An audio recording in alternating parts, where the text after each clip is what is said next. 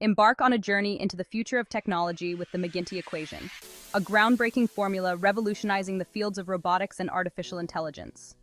This video explores how integrating quantum field theory and fractal geometry with robotics and AI is not just enhancing capabilities, but potentially transforming their fundamental operations. The McGinty equation enables the design of more sophisticated, adaptive robotic systems that can better understand and interact with their environments. In the realm of artificial intelligence, the McGinty equation contributes to the development of advanced neural networks that can process information at unprecedented levels. The video will also highlight the potential for the McGinty equation to facilitate quantum computing applications in AI, significantly speeding up machine learning processes, and enabling AIs to solve problems in seconds that would take years for current systems.